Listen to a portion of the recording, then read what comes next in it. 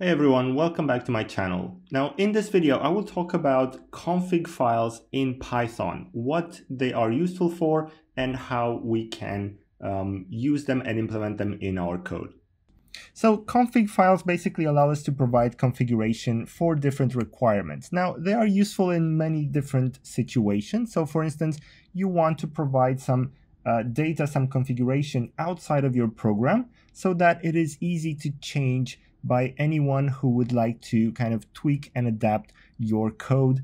Uh, so they don't have to go inside the code, find where the information is used and change it there. We put all that information in a separate file and the program takes that information from the separate file and uses it whenever it's needed. So that is basically what app configuration is or software configuration.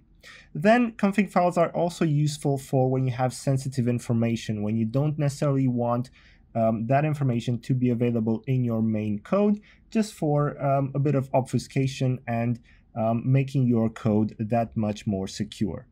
Then you can also provide different configuration files for different environments. So if you have a development environment, a staging environment, and a production environment, you might want to have um, separate configuration for all those environments.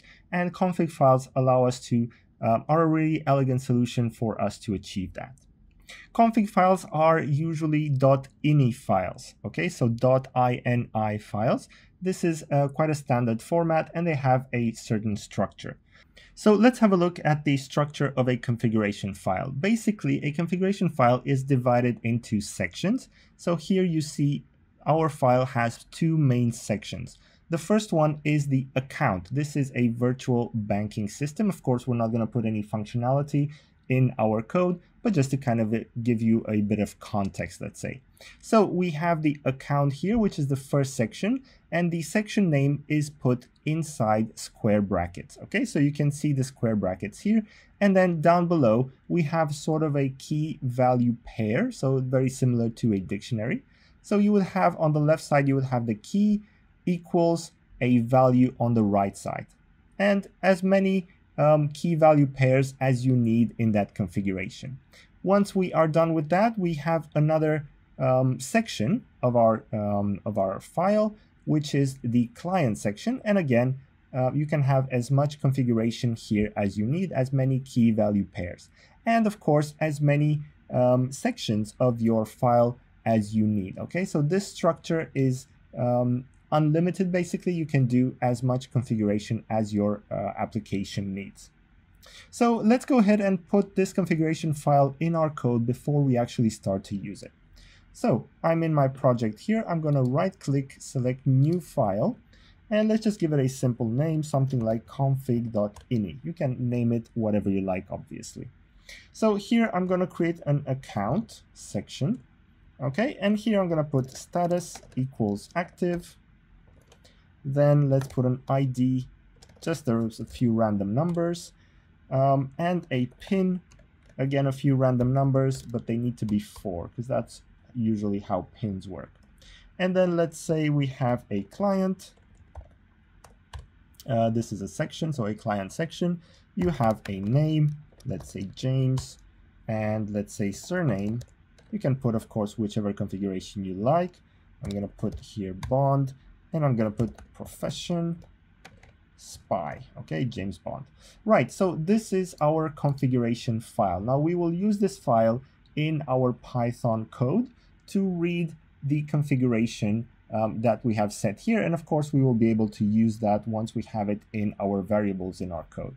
So how do we do that? Well we have this object this construct which is a config parser. So the config parser allows us to parse the file that we pass to it, the configuration file, and then it will allow us to retrieve that information in a very easy way. So we need to use the config parser from the config parser library. Okay, so let's go in our code. I have here a new file config uh, files.py.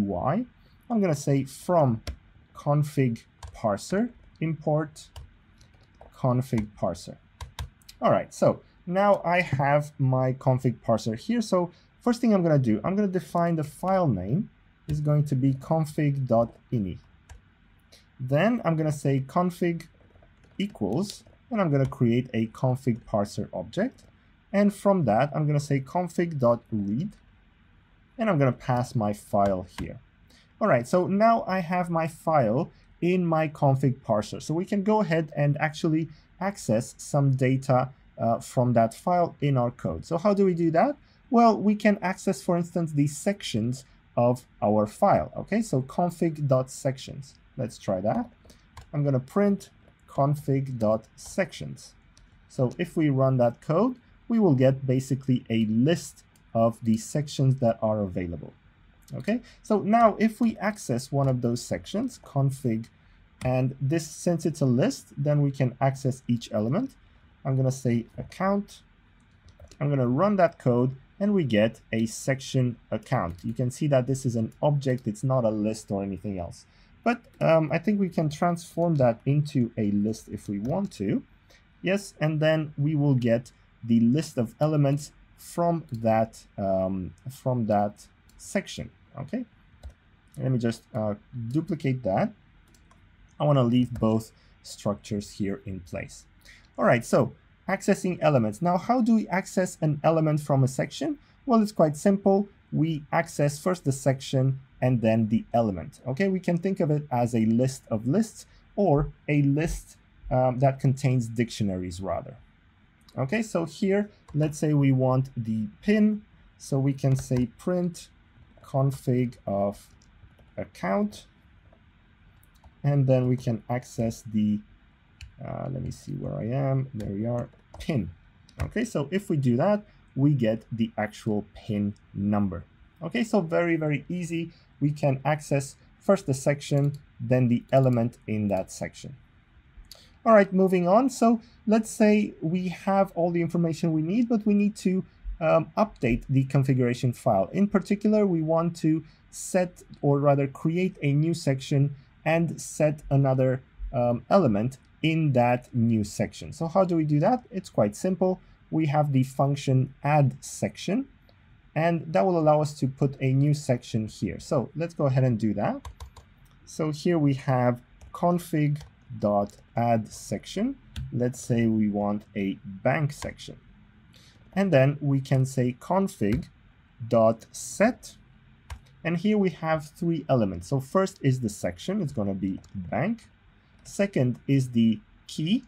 Okay, so that is going to be, let's say, branch, or let's say name of the bank. And finally, we have the value, let's say HSBC. Okay, so um, now we have that information, but at the moment it's only in our config parser. So what we want to do is we want to set that configuration in our config.ini file. How do we do that? Well, we already know how to write files. So we can do simply um, with open the file in a write mode, we write to that file. So the config has the method write to a file that allows us to basically dump all the configuration into that particular file. So let's do that with open. Um, let's say we have our file, okay, which is the variable we defined at the top here open file in mode W as config, let's say. Um, no, let's call this config file because we already have a config. So we can say config dot write, and here we have our config file. Okay, so our config, which is the config parser, will write to the config file which is the one um, we have opened here, the open file. So there we go. Let's go ahead and run this. Okay, I've run this. And then if we look in the config.ini, we will find the new section bank with the new name and the value that we give it. So there you go. That is how you would use um, config files. You can have as many of these as you want. And for each individual um, environment, you can open a separate file to have a different configuration for that file.